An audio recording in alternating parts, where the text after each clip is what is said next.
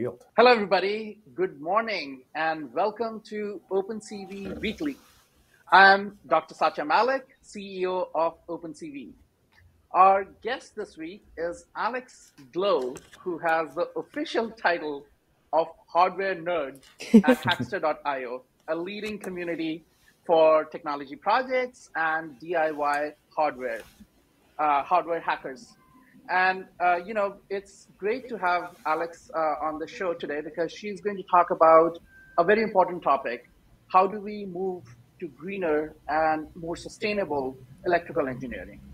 Uh, Alex, welcome to the show. But before we go to your introduction, let me first introduce uh, Phil Nelson, who is the Director of Content and Creative at OpenCV. Uh, if anything goes wrong with this show, it is Phil's responsibility. That is it's correct, Satya. Thank you. yes, again, it is I, the co host with the co-most, the second banana, who is second to none, your plus one and only Phil Nelson, here to remind you of a few things we do every single week here on the show. The first of which is a giveaway to you in the audience. You'll be able to answer a trivia question later in the show on Zoom. You can get to Zoom by going to opencv.live if you're watching us elsewhere.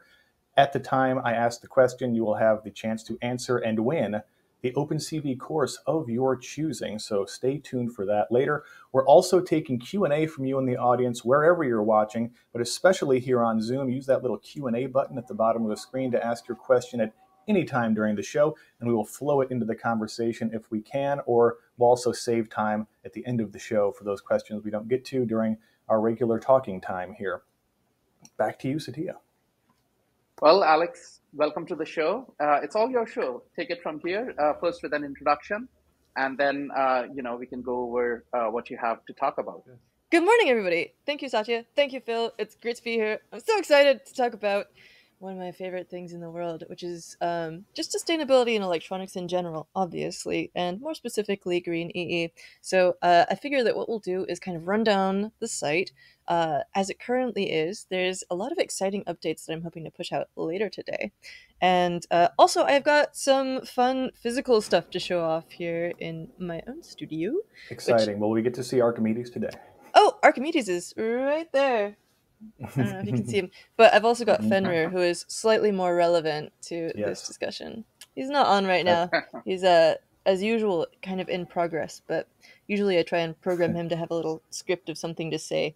Alas, not today, but maybe next time. Um, Don't be jealous out there, but I have met that robot in person.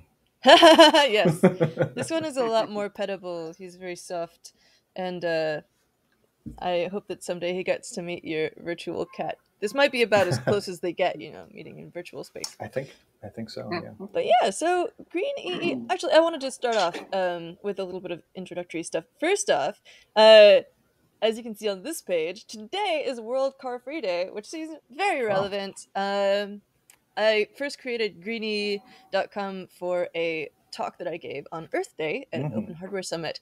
And so the fact that today is uh, World Car Freedom. Wait, is it six months later? No, it's five months later exactly. Uh, April 22nd is Earth Day.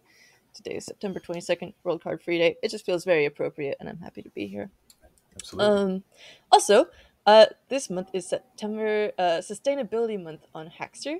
So, uh, I am the video host and hardware nerd at Hackster.io, which is an online community of hardware developers, as Satya mentioned.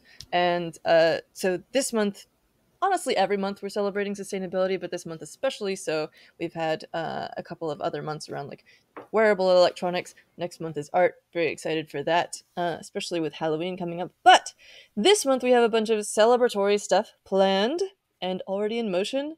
You can share your projects on all these different uh, pages. You've got upcycling weather uh, related projects plants all your you know, uh, plant watering systems and cute little things go there.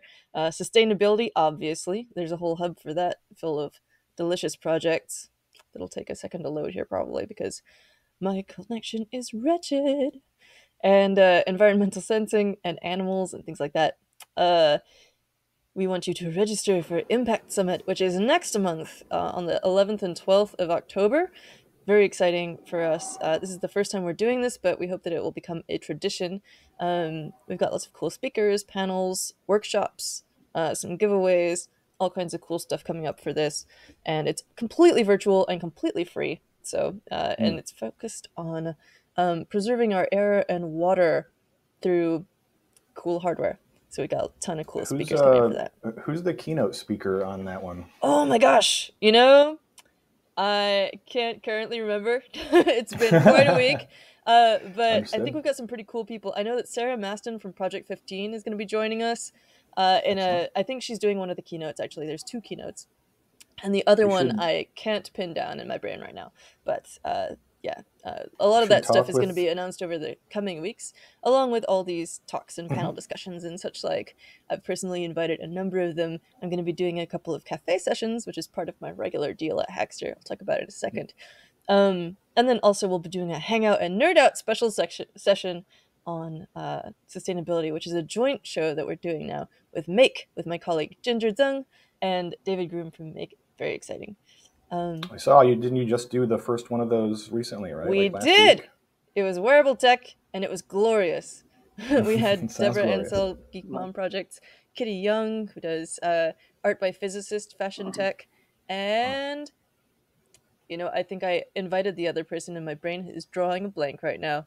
Did I mention one hour of sleep? But it was an awesome it's, session. It's the morning for it. It's the morning for it. um, Welcome to the chaos stream, everybody. Indeed. um, I am so abjectly apologetic to that person for forgetting who they are, but it's not you, it's me. Uh, then there's also a bunch of cool, you know, news articles and stuff that we're sharing about that. We've got contests going on. IoT into the Wild, which is a collaboration with Seeed Studio around their new SenseCAP mm. uh, prototyping kits. We've got a Smarter Sustainable World Challenge with Edge Impulse and Nordic Semiconductor. And this other one with uh, NXP, the third HoverGames, which each year it's a a UAV contest and uh, themed something about sustainability. There's one about fighting forest fires. This year's is wow. about land, sky, and food supply. And then there's Hackster Cafe. so this is my weekly deal. Uh, at the risk of giving you a fire hose, uh, every Tuesday I talk to somebody. Fire hose us up. Absolutely, I'm trying to slow it down. Uh, I got the sage advice before we started that uh, I should try and slow it down as much as possible and then slow it down a bit more, which is apparently a tip from wrestling. But the, uh, the late great, Ter- the, the, not the late, the currently living somehow and still great Terry Funk. Don't curse Thank him, you, man. Terry. Yeah. Uh, oh, nothing can kill Terry Funk. Okay. You, are you're, you're the one jinxing it. It's not on me. Uh, but so yeah, Hackster Cafe weekly show interviews with super cool people in technology, uh, hardware specifically, and we've had a couple of uh, especially sustainability themed ones recently, including mm-hmm. Crystal yesterday from Wild Grid Solar, who created the solar uh, window solar charger. And also Kyle Wiens from iFixit, a personal kind of hero of mine. Um, yeah. Does a lot of right to repair stuff, uh, not just teaching people to repair stuff, Although they do have apparently over 80,000 guides for repairing your stuff, I think. They also sell cool Jeez. tools. I know, right? And uh, they also advocate a lot for right to repair legislation. They're doing mm-hmm. lots of stuff in that realm as well. So that's extremely really important. That's right really now. nice, isn't yeah. it? That's really nice. I mean, yeah, I mean, we have been we have been using our stuff as if it is, uh, you know, you use and throw. There's no disposable. Uh, yeah yeah, it's, mm-hmm. there's no concept of repair in this country, which I was very surprised when I came here 22 years back. Um, and it's, I mean, it's gotten much worse actually over the years. Uh, yeah. You know, nothing is repairable now. Yes. Yeah. No thanks to John Deere. Aha. Yeah, we talked about that actually in the uh, in the cafe with Kyle. Um, he had just been to DEF CON and reported back about uh, someone running Doom on the John Deere tractor, uh, which is not yep. the first time that they've been in the news for trying to keep farmers re- from repairing their own mm-hmm. tractors, which is, you know, A, it's bad for the world, and B, it's bad for the little guy, you know. Not that necessarily yeah. these people are little guys, but uh, in a, you know, compared to, compared John, to Deere, John Deere, like, who's got, you know, right you should be able to own your things and part of that is being able to take mm-hmm. them apart repair them even hack them obviously like of course i yeah. believe that and uh, they just make it uh, you know I, i've fixed my digital camera over here with a guide from ifixit years ago mm-hmm. and uh, just it's a wonderful place to learn stuff. I used I really it to do my do. first ever MacBook uh, hardware hard drive swap. was was an iFixit guide. So thanks iFixit. Nice. Uh, you'll if you watch the the interview, you'll also learn a fun little um, anecdote about uh, me swapping out RAM for them on stage once at a conference. but so now we get to the fun part because everything else was mm-hmm. super boring. uh, so far, where yeah. we go and talk about Green EE. So this is, uh, I just love it. Um, am I allowed to just gush about my own project here? Uh, I mean, that's that's why you're here. yeah, there's so this is, more has this come is the to ego light. stroking show. so more has come to light since I first created this. Uh, if you read the about page, you'll know that uh, part of the deal with me creating this was because I would love to build more electronics and there's stuff that I you know I love making stuff and also it would be cool someday to maybe support myself partly that way. Uh, but also I don't want to do it if it's gonna you know twist the world up even more and and and make me feel bad about myself. And so i'm looking for i went looking for just a set of guidelines on how to do electronics more better and uh, not finding a very centralized guide. I was like, well, I'll just grab all the resources that I can and stick them in one place and then share that with other people so that if other people are looking for the same stuff, then they can find it. Um, so that's how it was born. And since then, I've fortunately found a number of other cool things, including this VentureWell guide to tools for design and sustainability, which is designed for people, uh, I think, partly for students. Let me get a better aspect ratio here. Um, but also and, and teachers but in general for engineers and designers. And they go through everything from like whole system mapping measuring sustainability greener materials lightweighting which i believe is like how to use less when you're manufacturing things. But look how exhaustive this is. It's incredible. And i haven't had the chance to go through this yet but i really want to. And circular economy energy effectiveness uh, changing lifestyles biomimicry which is one of my favorite subjects. Biomimicry and biocollaboration. Um, oh man we can get into that a little bit. It's definitely included on green ee but yeah so i've since found resources like that that sort of match what i was trying to do with this in the first place. But i still think that there's a, a good reason to have another repository that links to that as well as to a bunch of other options. And the way that i've set this up is that uh, first off, there's some questions. So, you know, what impact can we as individuals have? And apparently, this is still linking back to the GitHub wiki where it uh, originated. But, mm. um, you know, the climate situation. Let's pull this on up on the actual one because it's linked in the header here. Mm-hmm. Um, not that one. Power. Power is a very uh, ambiguous header here, I guess. But yeah, so it sort of shifts this idea from it being our fault. It can get it'd be very easy to sort of get into this sort of shame spiral. And i talked actually about this with crystal uh, yesterday as well. Um, you know how a lot of us can get kind of paralyzed by this idea that there's this huge thing to fix and that we're part of the problem and that you know there's nothing that we individually do. But if you shift it away from sort of a blame and shame and fault finding kind of thing uh, which honestly, any one of us compared to like, uh, one of my favorite things to point out here is that BP is the one who created the idea of the carbon footprint, basically to shift their responsibility for carbon emissions onto mm-hmm. the every person. Um, you know, much like the history of jaywalking laws here in, in the U.S.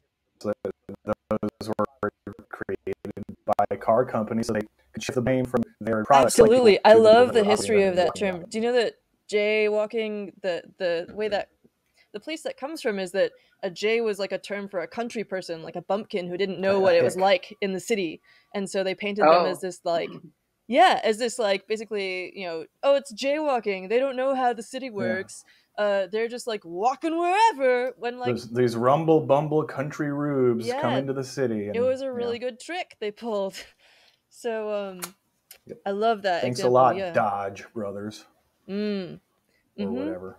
And so, in much a similar vein, you know, BP has done this to sort of foist the responsibility onto us and make us feel mm-hmm. like, oh, you know, it's because I used it, didn't use my tote bag when I went to the, to the grocery store. You know, no, it's because right. of them. But, but, even though it's largely their fault, we still have power to change it. And part of that is through our individual actions, and part of that is through, you know, we have the the um, power to talk to our representatives to really get on their backs and be like, hey, you know, uh, our power is this sort of collective power where we can uh, get our legislators to take them uh, get them to take responsibility mm-hmm. put the responsibility back on the companies mm-hmm. enact legislation regulations uh, you know in germany there's requirements that you have to sort of take care of the product life cycle and offer recycling for uh, hardware project products that are returned to your company which i think is amazing i've learned that talking to the guys from uh, mnt reform an open source laptop mm. that is very modular and repairable super cool yeah Lukas cool. Hartmann. That was another of the cafes that we did. So, um, you know, we start out with a few of these questions, and then another question about like, why are you building a new thing? Uh, you know, is there, if it's in order to solve a need, is there an existing product that project that does what you want? Could you contribute to that? Would it be as you know just as fulfilling for you? And would you be able to take it further that way by collaborating? Uh, is there a low tech solution? I love rumble strips, and I also love this example of, um, somewhere down here of uh, putting black paint on one blade of a wind turbine helps protect birds. They can see the wind turbines and they avoid them.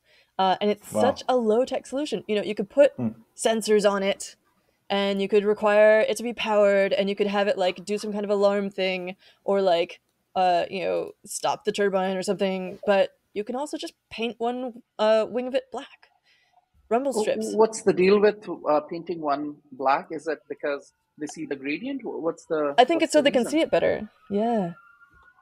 I'm not but sure why you wouldn't do all three of them. I don't know. I should look into that because right. I'm also. Well, curious. it seems like you wouldn't necessarily have to because it's not as though they move super fast. I think it's just more of a if they can see one aspect of it, they'll be like, oh, there's a thing there, cool. I'll yeah, maybe. So, I'm guessing that it is because one of them is at least one of them is white and the other is black, so you mm. get both colors. Uh, mm. And you see this difference, right? Right. So it looks like something is moving. Yeah. Yeah, it's like maybe if you just have uh, white, then it blends with the background, and black is the opposite, right? So if you have black and white, both of them, maybe one of them will show show up as if it's moving, right? Um, I don't know. I'm just guessing. Absolutely. I, I bet you're completely right on that. And um, rumble strips are kind of the same. I think they're a beautiful, elegant solution to the idea of like you know people falling asleep at the wheel or like losing, getting distracted by stuff. You know, mm-hmm. you could put some sensors in the car. There are things that you know you can attach to your face where it'll like detect if you're uh, falling asleep and like give you an alarm or something. You could have like a little thing that shocks you. You could have, but rather than having something special installed in everyone's car or on everyone's face or like all this extra technology, you just literally put a physical uh, attribute into the road, uh, just just something that doesn't even take any extra material, and uh, and fixes the problem. Largely, you know, you still need other other guardrails and stuff, but um, so that's you know another of the questions. Or is there something you can repurpose? I love this line from iFixit. The greenest phone is the one that's already in your pocket. Um, they really hammer that home, and I love that line. Um, yeah, yeah, makes sense. What does that mean? Uh, well, basically, you know, you could build a greener phone. You could buy a greener phone. Yeah. Like if you go out tomorrow and buy a greener phone because you're like, oh man, this phone I have is crap. It takes so much materials and stuff. Well, now you've just bought another thing and used more materials. Oh, I see. Right. Yeah, yeah. it's uh, it's the same criticism people had about Obama's uh, what was it called? Uh, something for clunkers. Uh, the cash car, for clunkers. Uh, cash for clunkers. Cash cash for clunkers program. Mm-hmm. That okay now you are replacing that car with a newer car, maybe it is more efficient, but actually that car you just got rid of is going to create, I mean, that's material, right? You actually yeah. got rid of mm-hmm. something um, to and bought a new a new thing. Yeah. Yeah. so, yeah. Mm-hmm. There's still this con- criticism levied against uh, electric vehicles that you know they do require these batteries that are very expensive materially and uh, uh, to produce and carbon wise to produce. With requiring mining lithium, for example. And so we're looking at building better batteries and things like that. And that's a really interesting space. Um, yeah, and it's some... not like those those lithium mining companies. Surprisingly, not the most ethical uh, organizations. You'd, not. you'd really think uh, of all after all these years, those those good, kindly mining organizations that we have a history of in the United States. Um, yeah, no, it's that way everywhere apparently. Yeah, someone from say Appalachia. Yeah, and uh, Cobalt as well. So um, one of the cool things about that uh, MNT Reform laptop I mentioned before is that they use these 18650 size uh, battery cells, but they're lithium iron phosphate instead of cobalt, which you know it's still lithium, but at least it's taking the cobalt out of the mix, which is also a conflict mineral. So. Mm. Um, mm. Have you have you ever wondered that we have these very heavy subsidies for electric cars, right? Electric cars mm-hmm. don't need any subsidies. They they cannot produce as fast as the demand is there right mm. now in the United mm-hmm. States, right? If you want to buy an electric car, I want to buy an electric car, and I have to wait for six months Waitlist, to buy yeah. one. Oh, I didn't right? know that. Uh, yeah, I mean, you can't from Tesla. If you want to buy a Tesla, I think the delivery is uh, at least three, four months away, right? Is that related to the chip uh, shortage, or? It's related to the demand, I mean, in my neighborhood, every, I mean, I think I think Tesla is the most used car, uh, hmm. at least second car, right? Uh, I was actually shocked how many people uh, in Southern California use Tesla. Hmm. But yeah. Uh, another piece, uh, you know, here is that they don't have any subsidies for bicycles. Why not, right? Mm-hmm. The people who are riding bicycle, they are actually helping. And mm-hmm. you can go one yeah. step further and say that electric bikes should also have because oh absolutely with bicycles with bicycles there is a limitation right you can get tired and you will not go uh, very far places but with an electric bike you can go you know you can do your groceries you can do a lot of things with an electric bike um, and there are no subsidies for electric bikes mm-hmm. right so uh, a very simple yeah. thing like that uh, could could encourage people to buy yes. and well, it's more yeah, than a subsidy more than the actual subsidy, it's the fact that people start talking about electric bikes. It will bring, uh, you know, when you're trying to think, okay, maybe I should get an electric bike, at least people who have uh, disposable income, they may have an electric bike for doing chores, um, you know, uh, not, not uh, like groceries, for example, is a classic uh, case. So yeah, that, that yeah. consciousness raising is, is really important because I mean, yeah. you know, a lot of people may not even know how good electric bikes have gotten mm. uh, in the years, and and you know, a big part of that too is just culturally in the U.S. Like here here in San Francisco, you know, the the example city everybody uses for like the kind of wet hippy dippy liberal, you know, elites. Every time, like there's like two there's like two streets in this city that have protected bike lanes like every single time there's some kind of proposal for it, it's like, no, it costs too much. and they're like, I guess people, you know, constantly being run over by cars is cheap. Yeah, and also, you know, the Valencia Street bike lane is mm. essentially a parking lot. That's the way people treat it. Like, yep. uh, it's always full of cars. Uh, it does bring us back to this, uh, you know, World Car Free Day. Hooray! And you know, yeah. I use Germany the, has have... subsidies for bikes. Uh, yeah, Mm. According to, to uh, Jochin, in the uh, chat here. Thanks, thanks for that. Yeah, and uh, I personally use e-bikes. Um, I mm. have a regular bike, but I use e-bikes. Uh, I use the Lyft ones, the rentable ones, um, yep. to go to, for example, the dentist when I don't want to show up really sweaty and gross for my dentist appointment, right. and I don't want to, you know, and I want to take a bike. It's like, okay, I'll take an e-bike, and it won't mm-hmm. like tax me physically and I'll get to like show up and the dentist won't have to deal with sweaty Alex. It'll be great. so, it's it's also the lifestyle. Um, like I grew up in India mm-hmm. and uh, I uh, my my family did not have a car. Right, my family did not even have a, a, a motorbike, which is very common. At least at that time, it used to be very common. Um, uh, everybody in the family they would have a motorbike but the system is set in such a way that even if you did not have that, you can have, you know, there is public transportation. Then most of the things I did was on my bicycle. Uh, mm-hmm. And uh, the system is set up in such a way that you can live without uh, an uh, without an automobile. Now I right. think things are slightly different. But growing up, I could do everything. I never felt that I needed a car or you know we were missing out on something because nobody around had uh, those things as well. Oh yeah. Uh, but the carbon footprint that we talk about here, people talk about oh you know how are you taking your grocery bags etc. Mm-hmm. Um, it makes me laugh because it's a very different you know. Uh, middle class people in India would use 100 times less carbon than uh, mm. people in the United States. Uh, and they don't even have to try because the system is set up in such a way that um, you know you're not missing out on anything. anything. Mm-hmm. Yeah, I should. Uh, this reminds me. I, I, met this amazing person uh, as in Shenzhen a few years ago, and there's this guy Push Bajaj who had uh, an electric unicycle, and he apparently worked at this place, lived and worked at this place. That it was sort of a, a a manufacturing sort of independent manufacturing uh, almost like a, a compound for these electric unicycles and he would take that thing you know 20 hmm. kilometers across the city to come meet us somewhere uh, and he had no problems with it and i just thought it was you know you, you just don't really see that as much. Although those are pretty, uh, they're pretty popular here, and I love seeing people go around on them because they make me think of cyborgs. They totally look like uh, cyborg creatures. But I'm noticing that we're at like 9:30, so I should probably try and just like zip through this really quick. Um, Sorry, keep going. Got, oh no, no, it's fascinating. I love it. you know, I've seen all yeah. this stuff a thousand times, and people can totally go back and look at it later. Uh, I'm loving this conversation. But just to mm-hmm. really quick uh, go down the line, you got we've got sections for building and shipping hardware, uh, the design, the physical design, uh, how you power it, and I get into that a little bit with Crystal as well. Very much, you know, powering individual devices and reforming that versus like trying to reform the entire grid. Um, mm. And I think that what she's doing is amazing there um, repairability, extending your project's lifespan, what I call after party, which is you know this thing of um, creating new add-ons for retro tech so that you can sort of bring it back to life and keep things alive.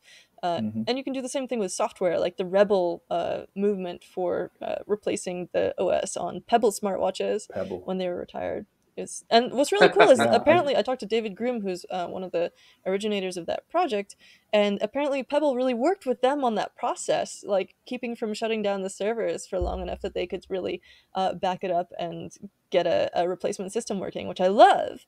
Um, That's cool. That's then there's cool. like open design and manufacturing options, uh, software, KiCad, love it.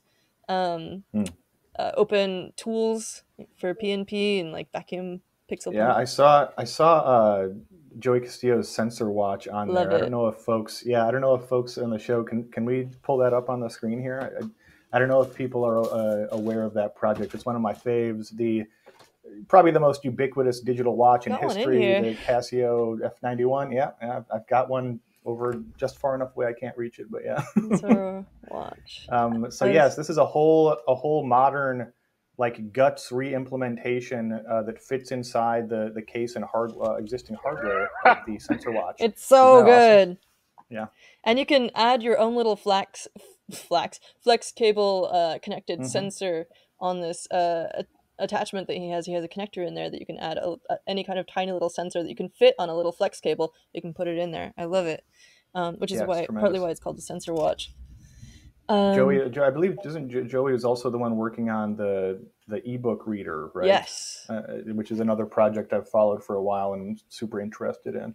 From Oddly Specific yeah. Objects, which is a wonderful yeah. co- uh, company name. Great, great title. Yeah.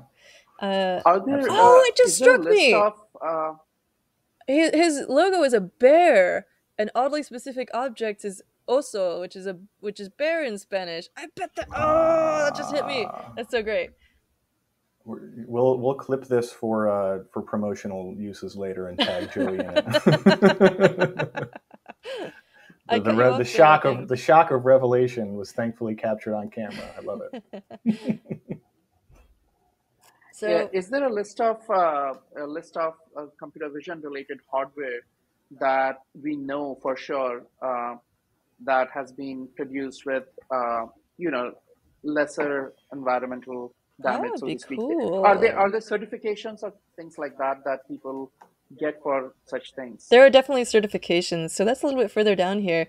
Uh, just really quickly on the way there, uh, project inspiration is a huge part of this. One of my favorite parts, and I talked about uh, collaborating with other um, bio collaboration and that there's this huge mm. section on like working with clams and fungus and stuff like that and and microbes which i love okay so uh, hardware platforms certifications and guidelines. You can get RoHS certification. Um, there's open source hardware certification just for like open source hardware obviously. Tco certification which is more of an environmental and social responsibility one but it's all the way through the supply chain and throughout the product life cycle which is super cool.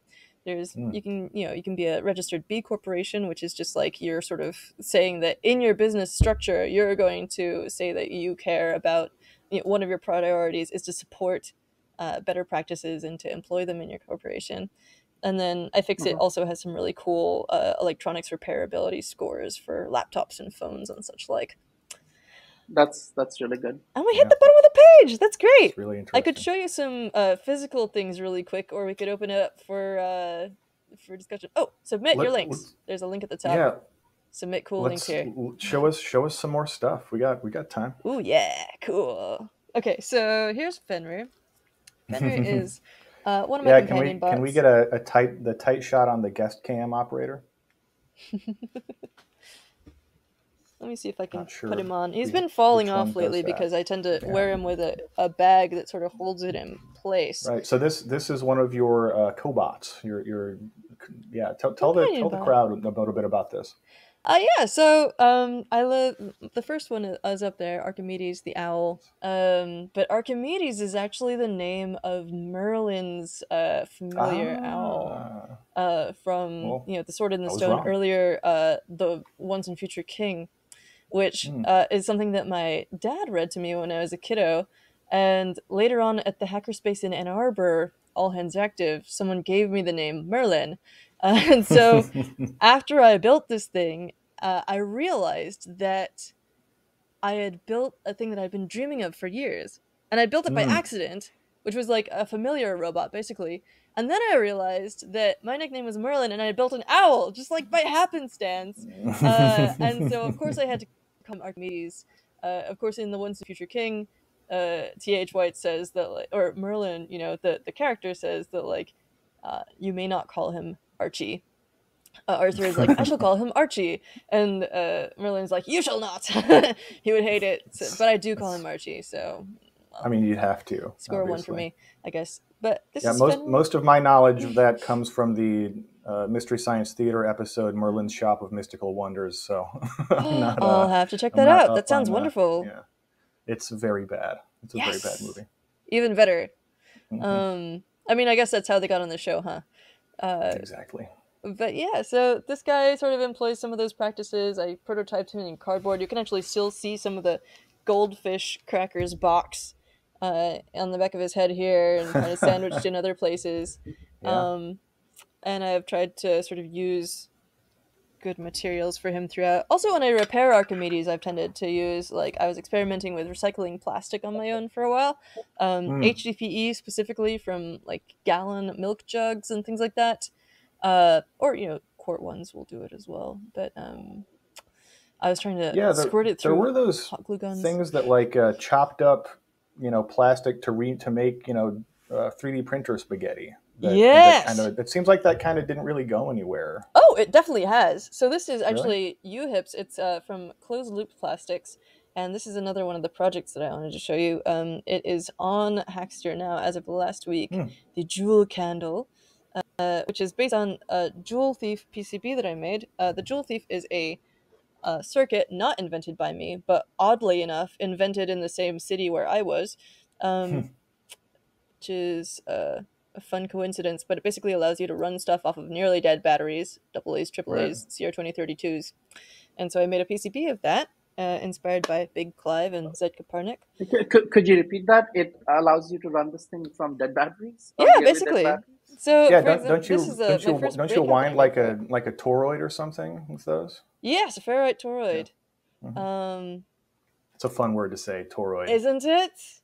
Yeah. Uh, much more fun than donut. well, donut is fun too, but uh, yeah, that basically stores uh, electrical. It, it, builds up electrical energy as magnetic field, um, coming from in like in sort of trickles from the battery, and then eventually that field breaks down and dumps it all back into the circuit as electrical en- energy, which then gets pumped through the LED uh, along with a small trickle of voltage that you're getting from the battery, and together they're able to like light it up for a flash.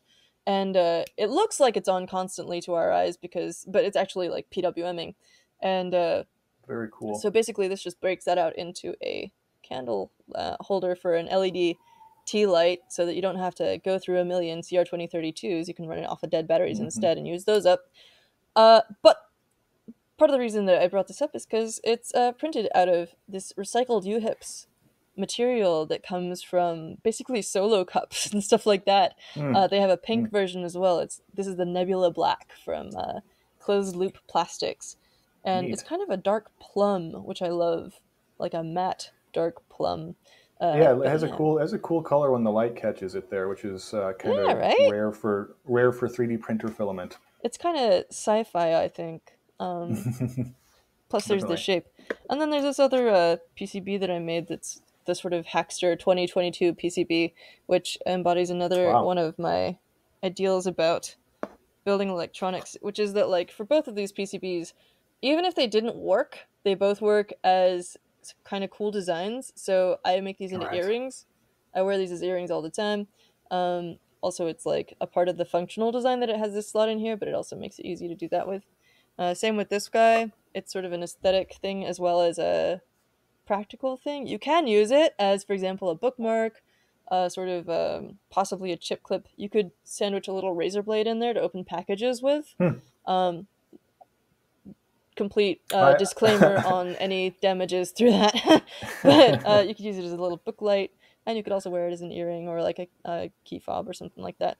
That's cool. So, uh, and I found out recently that Alpenglow, Carrie Sundra of Alpenglow, another person I uh, interviewed recently, has had a similar idea. She created this hmm. swatch hmm. minder, which is like a, a yarn tool, which is uh, made from the circuit board waste from a different circuit board that she created as well. So I love stuff like this where you're using the cool. offcuts. Uh, yeah. And if like you know the even if it doesn't work as a circuit, you can still use the physical object uh, and keep it out of the landfill, basically. Very cool. I think so. so yeah, there's Very a nice. I got projects up for all of these things. You can go check out my extremely. it's kind of hard to explain how the Joule Thief works, and other people have done it better than me. So you can get a rundown on that in this? Yeah, I, I, I, tried. Um, I actually had a project a couple of years ago where I was working with uh, supercapacitors that instead of batteries, just uh, with the idea yeah. that I could make one, I could get a, a, capacitor just big enough that it would power a, a, solar, you know, a solar powered light could store enough energy that it would be yes. able to use it for like most of the evening instead of needing a battery because the shelf life on those capacitors is like forever compared to the one year or so you'll get out of a battery at most before it explodes or something, especially if it's outside. Um, it was really fun. I, it was the first time I, I like I you know hand wound a, a little toroid. I love that toroid. Yeah. Yeah, Adafruit um, sells some really tiny little uh, solar cells. I do see some people using those with with supercapacitors for uh, yes for stuff. Yeah, the little I have a little I had a couple like two little tiny ones like you'd find on the old Casio uh, uh, solar powered calculators. Love it. Yeah, um, um, those are really fun. Oh, it feels, totally it feels like magic when you do that. I, I, feel like it feels like magic doing that sort of stuff. It does. It does feel kind of Merlin-y, where you're yes. you're sort of making the making the electricity bend to your whims. you're speaking my language, and uh, Mohit Bhoite has a really cool uh, little project. This tiny little satellite uh, that's a pummer. Mm circuit from Beam Robotics, but with this beautiful bent brass uh, rod format with some uh, solar cells that are very similar to those wow. little calculator ones and a little supercapacitor. And look at wow. it! And the Pummer it, it idea like is a, like a, it looks like a space station or a satellite. Yeah. That's so cool. And the Pummer like does a little periodic flash just based on how much uh, power wow. it's getting in. Love it. That's uh, Gosh, yeah, most of what like I had to show you. Way too much for that. yeah, I don't, I, I don't think I could do it. It's it's wow. so beautiful. All his work is gorgeous. Um, this yeah. is the final tab I had pulled up. Just uh, that Jiva Materials is doing a, a recyclable PCB substrate, and there's some more stuff in Green EE about like chitin based uh, PCB substrates that have been proposed from uh, you know cast off shrimp shells from food production. Um, just all kinds of cool stuff about you know wow. closing that loop, making it a, a sort of self feeding ecosystem where we don't have to produce as much waste or uh, create so I have, I have this, uh, I have this uh, low tech um, story about uh, you know the the life cycle of a T-shirt in uh, in India. Uh, this was this was me growing up, but even now in middle class India, so this is what the life cycle of a T-shirt goes through. You know, you buy a new T-shirt, you wear it for a couple of years or maybe even more as what is called the outside T-shirt, right? You wear it when you're going out. Um, and then yeah. that T-shirt becomes your uh, night. You know, you wear it mm. in, in, the house or uh, while sleeping, etc. Right. So that's the second use of it. It goes for two more years, right? Mm-hmm. Once uh, you have you know completely worn it down, uh, you basically use it as a tabletop uh, rag, right? If you want mm-hmm. to uh, clean tabletops and things like that. Yeah. And then you know that lasts for about three months or maybe six months. I don't know and then it goes to mopping you know it's used for oh, mopping the floor yeah. right and then it's you know there is nothing left pretty much yeah so that's the life cycle of a t-shirt uh, mm-hmm. and I, I, think even even now in middle class india um, most of the t-shirts probably go through that life cycle so it's very different you know uh, the lifestyle we have here, right? My old T-shirts, I just donate it, and maybe one person gets to wear it, and then it goes right. But here, mm-hmm. you can see that it goes through this, this pretty there's intense a, life cycle, a, and every bit of it is here. used. Yeah. yeah, yeah, and India also recycles. I mean, it's sad, but uh, India recycles a lot. Uh, it's surprising, and the reason it can recycle is that uh, there are people, uh, there are very poor people there for whom just going through that recycling and uh, you know selling the recycled bottles and things like that it is financially okay for them right? Mm-hmm. it is kind of sad but uh, because of that there is a lot of recycling uh, that happens uh, in india um, because of that reason also.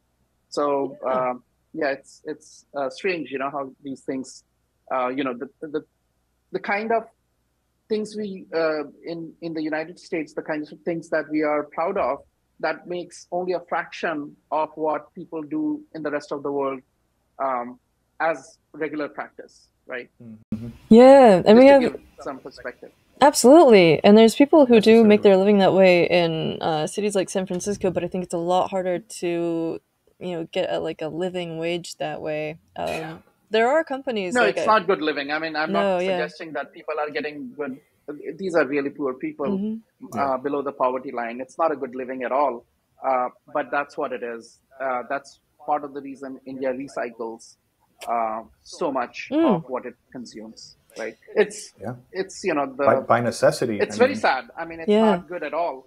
But uh, as a as a consequence of that, India does recycle a lot. Makes sense. Yeah, and there are sense. some. Fortunately, there's some uh, groups that are currently moving to do similar things here. There's a couple of different services I've pulled up here really quick that uh, are places that you can order these bags from and fill them with your uh, cast off textiles, and they will sort them and you know figure out whether they can be reused or uh, the fabric can mm. be turned into, for example, insulation for houses or uh, things like oh. that. They'll figure out where it can go and get reused or best used in the waste stream or diverted to something less harmful. And uh, you can get subscriptions for this and stuff. This is Resold Recycle, wow. Retold Recycling, and For Days, hmm. who also make uh, clothing out of recycled textiles. Which uh, I, am excited to see that there's more going on in this space now, but there's definitely room yeah. for more. Yeah, apparently wow. the, something similar is there for uh, road material also that plastics oh, and yes. other things which cannot they are using for roads. Yes, I love that. So yeah, I wonder is it cat time yet? I don't know how this works. Yeah, operator, can we uh can we please get the cat cam? I think it's one of the 99s. Yeah, there's our buddy. So, uh, folks out there watching, if you've if you've been with us for a, a couple of weeks, you may recognize our uh, feline companion here in the studio who tragically uh, does not have a name. You can help solve that horrible problem by sending your suggestions to newsletter at opencv.org uh, or by posting here in the chat, of course. We will read out the best suggestions for cat names on next week's episode. No promises on when it gets named. I think with this sort of thing, you just you, you know it when you hear it, and we just haven't quite heard it yet. So please send those suggestions to newsletter at opencv.org, and we'll read the best ones next week. Um, I think let's let's do our let's do our giveaway here since we're we're hitting up about yeah, about 950. So excuse me. If you need a reminder, this is your first time joining us, either way, there's something we do every week here, which is a giveaway to you in the audience. You're going to have the opportunity to answer a trivia question that I've made up based on what we talked about today here in the Zoom chat. If you're not in Zoom, you can hop into Zoom by going to opencv.live. If you have won within the last two months, please don't answer and give somebody else a chance to win get ready to answer in the Zoom chat. Everyone within the sound of my voice. Um, earlier, we talked about how this is, uh, uh, you know, an important time for uh, sustainability, and it, it's it's Car-Free Day. Earlier, we talked about another very important and, and one of the oldest environmental holidays here in the United States, Earth Day.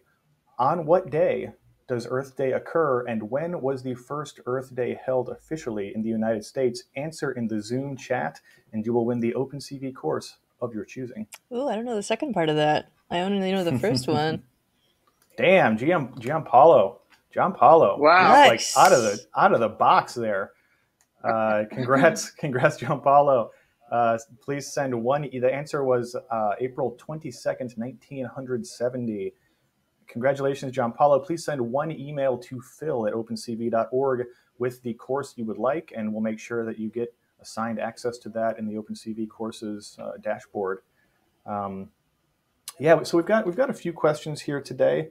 Uh, first off, I want to say thanks to everybody for submitting your uh, OpenCV Spatial AI, uh, OpenCV AI competition, Spatial AI track proposals on Monday, which was the deadline. Uh, we got quite a few of those, and we're currently going through them, and we'll be contacting the 25 chosen teams very soon so we can get them their OAK-D pros so they can start Ooh. working on improving that depth estimation uh, functionality. So thanks, thanks a lot for that. You've still got until uh, sometime in October to submit your proposals for the OpenCV core side of that OpenCV AI Competition 2022, which you can follow on all your social media channels with the hashtag OAK22, O-A-K-22. So please follow along there. And if you're part of the contest, post your progress updates using the tag so people can see it. Um, we've had a lot of success in the past. Last week we had uh, Bart, who is revolutionizing sports with VR, which is not something I thought was even possible, but uh, extremely compelling stuff, and it started with an OpenCV competition. So that could be you. Uh, please, please uh, don't underestimate yourself. Get those things submitted by sending one email to competition at opencv.org with info about your team and what you'll be doing. Um, so Tia, is there any more? Is there any more news we want to do before we do questions? Uh, not really. I mean, that was. I think uh, is there is there a, there's a giveaway with Learn OpenCV still ongoing, isn't there? So with Learn OpenCV, basically we are giving away. Uh, today is the last day, I think, or uh, yeah, today is the last day. Uh, basically, NVIDIA GTC is going on, and if you register through our uh, website learnopencv.com, there is a giveaway. You know, GTC this uh, 3080 Ti uh, yeah. we are giving away to one lucky winner. So you have to go register and also actually attend one of mm-hmm. the sessions. So please uh, keep a screenshot of the registration as well as uh, the session you attend. And uh, that's, uh, you know, I think you, ha- you probably have just a few hours to register now because it's going to end soon. Yeah, hurry up and register for that so you can get that card just before it becomes obsolete when the 4090s drop. well, thanks, it's thanks still a, a very powerful. it's a very powerful thing, and the other thing is that you also have five DLI credits, Deep Learning Institute credits, and each of these credits are worth uh, $90 or so. Mm. So you have, you know, six prizes in all. So please uh, join and uh, register. Yeah. Yeah. And it's, I've been following GTC. I've, uh, uh, I have attended many sessions. This is mind blowing stuff uh, for computer vision folks. This is, they have, they actually are doing so many different, they're pushing on so many different fronts it's amazing. You know, they have this Omniverse, uh, they have NVIDIA TAO, they have uh, something for robotics, the isaac sim So there's yeah. a lot to learn. Uh, yeah. So even if you go and uh, see the recordings, it's it's really good. So uh, check that out. Definitely. Um, there's also this uh, next week is the big Intel Innovation event. Oh, um, oh yeah. There's also the as, as part of that, if you're in the Bay Area in, in San Jose, California, in fact, there is the developer meetup, which is being uh, kind of try try hosted by Intel, Hackster, and OpenCV. That's us. Uh, September mm-hmm. 27th, 5 to 7 p.m. Uh, you can this register Tuesday. for that by going to this this coming Tuesday. That's right. You can register for that by going to hackster.io/events. You'll see it at the uh, on the page there. Um, I will probably be there. There may be OpenCV stickers. I'm not going to promise anything. Um, but if you see me there, please tell me uh, your, your best name for the cat. There's also um, uh, upcoming the, as Alex already talked about, the Impact Summit by Hackster. That's October 11th and yeah. 12th. So uh, you can register for that, which is a virtual event, by going to hackster.io slash events as well. Um, let's get to a couple questions before we run out of time here. So We've gotten this one a couple times already. Uh, I think Satya probably has a lot of thoughts on this, and I'm sure Alex does as well. One of the big things in terms of sheer carbon footprint in computer vision is artificial intelligence and deep learning. The, it takes a massive amount of power to just train a model using those huge, you know, GeForce and, and Tesla and, and whatnot GPUs. Yeah. Um, yeah, Satya, what are what are your thoughts on on the, the state of things today? Like, what what do you think the next improvements come from for both computer vision and artificial intelligence in terms of using less power and being more sustainable? Right. So uh, the very first thing I want to mention is about scale. Right. Mm-hmm. Uh, it, these are power hungry, and you know each version of uh, this new hardware, it gets more power efficient. Um, you know, 30, 40 power efficiency from one uh, version to another is uh, not uh, not unheard of, right? It happens, and because there is such a push for doing everything on the edge, uh, these these there's incentive for these companies to make it very uh, power efficient. But we also have to keep things in perspective. Uh, for example, this I think there was a tweet by Yann LeCun who mm. uh, who did this calculation. I think it was for GPT, one of the large language models. I cannot remember which exactly it was. He did the calculation uh, how much uh, energy was. Maybe Yann LeCun did not do the calculation. Maybe he was just retweeting. But uh, the energy that was spent in um, in creating that model, right? All versions of that model was the same as one trip uh, intercontinental trip uh, from Europe to US. Hmm. Uh, that's that's it on on a, a, Boeing 737 or something like that, right? Hmm. There are 1,700 such flights every day, right? Hmm. And we are talking about this one foundational model. It took the same as one trip, right? Hmm. So in the global context, we can uh, even if we reduce the, uh, you know, we should be reducing the energy consumption, but that's not where the main uh, thing is, right? We are getting, we are trying to optimize, you know, uh, sub, sub, sub 1%, right? It is like uh, 1% of 1%, uh, even if you consider all the deep learning activity going on uh, in the world, right? Mm. And uh, so, I mean, the bigger wins are elsewhere, right? I mean, we can still, we should still try to make things as efficient as possible, but we should not be under this impression that oh if we fix if we cut deep learning training uh, power by half, it's going to have any significant impact uh, because you know all the power consumption is happening or energy consumption is happening elsewhere. And it, it's still a relatively small. We, we talk about this all the time on the show. It's still a relatively small yeah. or like business. It's a relatively small industry. Mostly, yeah. if you are you know spend any significant amount of time with with AI, you pretty much know everybody that does it, and it's yeah. it's you know it's obviously growing by leaps and bounds, and there's tons and tons of capital going into it, but at the same time, yeah. um, it's not at a scale. It's a fair point that it's not at a scale that it's not like say you know a a shipping container uh, worth of carbon emissions every day or, or whatnot. But uh, right. Alex, do you, right. do you have thoughts on this? Yeah, well, that's true. I think it's definitely valid to be concerned about. It's something that is skyrocketing Certainly. that fast. Like it, it, its pace of growth could definitely render that uh, different yeah. within a couple of years. Um, mm-hmm. That, said, uh, I do agree, and I think that a lot of that could be solved with the same stuff that we were talking about earlier. Where if you solve the problem of where the energy is coming from, then you solve a lot of the problems around the carbon emissions, and you don't really have to worry about it anymore. It becomes a moot point if you're mm-hmm. powering that off of some other source of energy other than burning fossil fuels.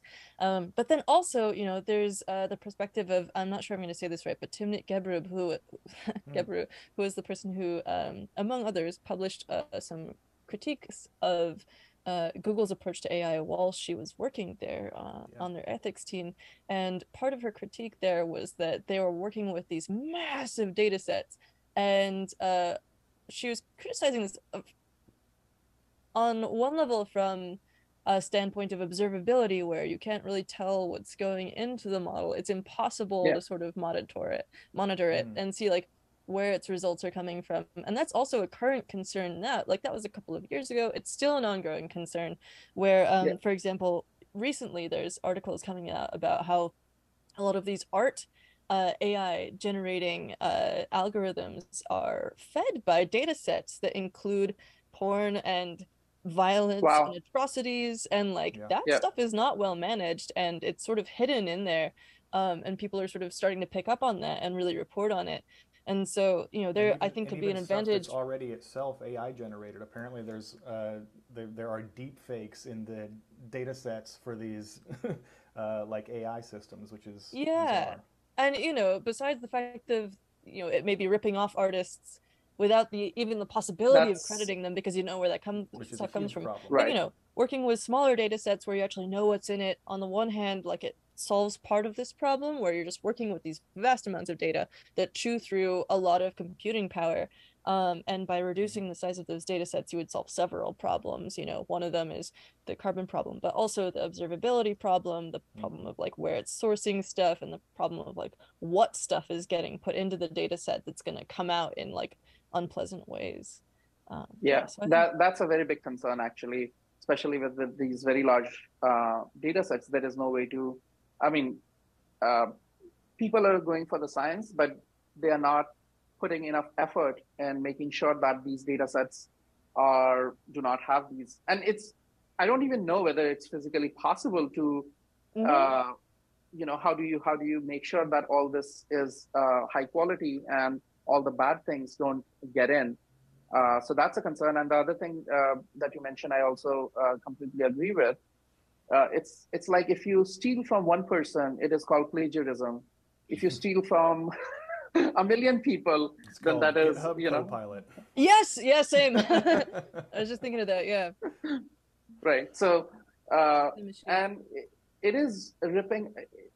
I mean, I am I'm, I'm very conflicted about this whole thing because at, uh, it is true that uh, we are using the work of artists to put them out of business in some mm-hmm. sense, right? Yeah, there's well, no way to opt out And also specifically enrich yep. already very wealthy mega corporations. yeah. Right. Um, well, so and then then but there is there is also this fact that this also adds um, it it allows other people to come and do things, right? For example, the people who are creating art using, you know, Midjourney or mm. uh, DALL-E 2, etc. They are using a different art form, so it's extending uh, art in some sense, right? It is not just mm. interpolating, but it's creating new art. I do so, think it's very uh, interesting. Yeah. Yeah, it's fascinating. I mean, it's science fiction to me. Um, yeah, and and uh, yeah, yeah, and I, uh, disclosure, I, we have we have we have a uh, we have a little thing going on in that uh, which I cannot uh, which I cannot talk about, but that's why I'm conflicted, right? yeah, because, absolutely. And you know, there's uh oh, has it just gone out of my head? Um, let's see, had to do with AI and art. Oh yes, uh, it, it all always also ties into this uh, concept where I heard this amazing phrase a few years ago where it's like machine learning is money laundering for bias and like it's mm. the same thing where people assume that like it's a machine it's not like it sort of generates things out of whole cloth uh you know yeah. it's just a machine it can't be causing harm because it doesn't have any intentions but all it's all of this stuff is programmed no, by it has yeah. It's all yeah. Bias, yeah. And so whatever humans put into it, like if it's trained on human art, that's gonna come out. If it's trained mm. on humans, uh, you know, talking on the internet, that's how you get Microsoft's Taybot, which like ends up spewing horrible, uh, you know, if you train a robot right. on racism and, and various other flavors of bigotry, you get a racist robot. Which is why you've got to monitor your data sets and like make sure that what mm-hmm. you're putting in there is stuff that you're willing to get out of there. Even on ones that aren't uh, that are a little bit more monitored, like GPT-3, you end up with situations where like they have to literally go in behind the scenes and shunt mm-hmm. in uh, randomly words for like female or like person of color or whatever uh, to make sure that when you type doctor in, it's not always the white man, and nurse isn't right. always like a white woman or whatever, and right. that like you know these different uh, biases that we have culturally don't come mm-hmm. out uh, from the machine, and you know people think that it's objective and just truth because it comes from the machine. It's subjective. Yeah. Exactly like it's very similar to what we're talking about jaywalking and carbon credits. Yeah. In a in a big way, and a, a huge danger here, and something that I think people really need to be vigilant about is when you're, you know, Meta slash Facebook and Google slash Alphabet, et cetera, et cetera, this is a really, in a, in a big way, this is already being used for them to sidestep their actual responsibilities on their platform. Yes, yes, yes. Because yes. they say, oh, well, the robot said, you know. Yeah. so if you can't if you can't specifically blame a hmm. person, then I guess it's fine and it's having direct real world implications as Absolutely. well. There's people yep. who are you know working on a. Oh, mm-hmm. did we get cut off? Okay. no, we are here. All right. Yeah, there's people who think that the the biggest threat to people is AI, but in the form that mm-hmm. like someday it'll be super intelligent and take us all over. When there's real concrete harms being uh, perpetuated by the use of AI right now, like Absolutely. deploying immature AI uh, from companies like Amazon that want to sell it to police forces and stuff, which has led due to the fact that it still has these biases and it is poorer at identifying people of certain uh, phenotypes, the fact that mm-hmm. it's led to mistaken arrests of multiple men of color because it's bad at identifying them uh, and telling yeah. them apart. Uh, and you know, this has having a real world effect right now. We don't need to worry so much about Skynet as just like, you know, our existing systems that are in place and them using these objective machine systems mm-hmm. to basically that are perpetuating those problems that already exist in our culture. Yeah. Right. And yeah. soapbox yeah. rant. I'm not the no. So uh, I mean, but but the good news is that you know the reach of AI uh, beyond these, there are so many different problems where uh, these biases, etc., doesn't they don't matter because yeah. you're working in an industrial. There's no human involved, right? Sure. For sure. you're working yeah. in with industries, so that's that's the promise. We have to be very careful about, yes. uh, you know, uh, these, uh, whenever it interacts with humans, uh, AI interacts with humans or it makes decisions for humans. That's where we have to be very, very careful about because yeah. all the progress that has been made, it is, uh, we are, we are going to lose it if we are not careful with, uh, if we move too fast on some of these things. And that's, that's my concern right now that uh, most of the companies who are working on these things, because it is such an evolving field, there is a mad rush to get something out faster than uh, than yeah. actually doing the right thing. There's there's always going to be casualties in a gold rush. You know, California yeah. had a, a couple. Uh, yeah, yeah. There's a just one final little thing here where mm-hmm. I forget who said it, but it, it was something about how machines cannot take responsibilities. So, mm-hmm. like, if someone does get mistakenly arrested, you know, whose fault is it? Who's going to take responsibility for that and make sure that it doesn't happen again?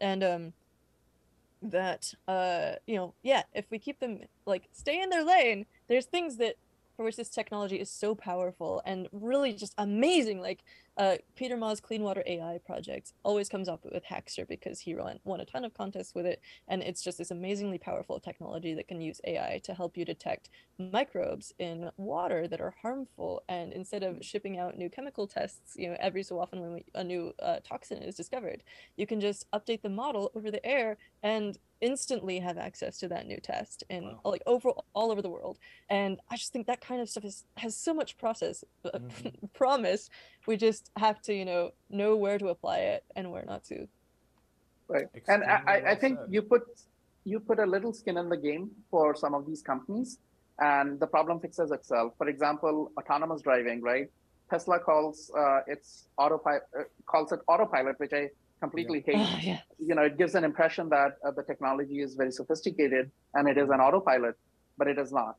Uh, but if you put a little skin in the game, for example, if there is a Some law that says that, yeah, yeah, and it could be, let's say, a million dollars uh, if you uh, if a life is lost, right, mm-hmm. and it goes to the victim's family or whatever, right? It doesn't solve the problem, but it quickly gets uh, the companies who are producing technology uh, uh, not being careful without being careful about it, they will quickly go out of business, right? Yes. Let's say there are, you know, there are. And they, well, they should. Let's say there are thousand. That's that's not how it yeah, works. Yeah, car yet. company, you know, there are a thousand uh, per year casualties, and you uh, you just lost a billion dollars, right? And for the um, for a lot of companies, that's that's the end of all yeah, profitability right scaling that uh, to the the revenue of the company i think as well would be mm, a good addition to yeah. that where like you know it, there's that uh, cliche where you know if a, a crime is uh, punishable just by a fine, then that's just the price you have to pay yeah. to commit it as a, a rich person. just a price. No, yeah. it should be so, it should be an existential crisis, right? You have yes. to put the fine at such a level that uh, it the company goes out of business, right? Absolutely. And that will that actually doesn't you know it's it's very evolutionary uh, this this kind of penalty mm. because uh, people don't change right it's not like the executives in that those companies will become very careful after Suddenly a become fights. virtuous uh, they will not humanity. they will not but, but yeah no then it doesn't happen right even with humans humans don't change mm. but uh, it works as evolution works these companies will go out of business and therefore the system will improve, right? Not hmm. because they will learn their lesson. It is that these bad companies will go out of business, right? And okay, that's how uh, evolution also works, right? It's not that, mm. Oh, people start learning uh, what's good for them and start correcting their behavior. People don't. Uh, and companies don't. They just go out of business, right? So the system improves by not having them in the system, right? Same okay. thing with bad drivers. Same thing with bad drivers. It's not like they uh, they suddenly realize their mistakes. Uh, no, they just go, they remove themselves from the gene pool, and the system improves. Hopefully I mean, sadly, that's the case. Or they get yeah. points on their license, and hopefully yeah. they get taken yeah. off. Anyway. Yeah. yeah, fingers crossed. Anyway, um, yeah, we, we went a little bit over. This has been a, a really fun chat. Thanks so much for joining us, Alex. We really Where got into it. People, I love this. Where can people find you on the internet if they want to if they want to follow oh, yes. you and, and, see what you're doing? Uh, let me pull up the. Yeah, can we get the screen up there? Uh, oh, you know what? Where am I? I might not actually be up on here yet. Let me pull myself up. uh, so I'm on Twitter at glowascii. Uh, oh, it's taking a minute to load. But uh, believe it or not, this is actually. Mm, yeah, there you go. Well, you can ask the uh, the story behind that in person sometime. I'll. Uh, it's a little trivia fact, but um, Ooh. and then you can also find me on Hackster at the same uh username hackster.io slash glowascii. And also Instagram, same deal. Uh, yeah, I would love awesome. to chat with people about this stuff. Also, final call to action. Okay, two things. Sign up for the Impact Summit. You're going to love it. It's going to be awesome. We're going to be releasing who's on it soon. And go to greenee.com, green-ee.com, and click the submit links here. Uh, link there at the top if you have anything that you think should definitely be on this page. Thank you. All right. Awesome. Thank, Thank you, you guys. So That's great. Can we get a two-shot operator? All right, So, Satya, you want to take us home? Yeah, thank you, Alex. It was uh, it was having uh, having this conversation was really great, and mm-hmm. you know we wanted people to be aware of these things. You know, we always talk about technical things, but it is equally important that we do things in a sustainable way. And thanks for coming to the show. And you know, this resource uh, that you have created that's very useful. It is, you know, we we all need to think about it and also use it contribute to it as much as uh, possible and make things uh, make, make things better. So thank you so much. Yeah, couldn't agree more. Well said, Satya. We'll be back thank here. You, folks, and thanks everyone. We'll be back. Thank you, Alex. we'll be back here next week, same bat time, same bat channel, 9 a.m. Thursday Pacific time. Our guest will be Eric Poehler, who is going to talk about using technology to 3D capture the ruins of Pompeii, among many other Ooh. awesome, awesome things he's done in his career. I've known Eric off and on on the internet for going back to my structure sensor days at Occipital, and I'm super excited. Hopefully, he can uh, uh, enlighten us next week on the show. Um, take care of yourselves out there. Take care of somebody else if you can, and have a great day wherever you may be. Yeah.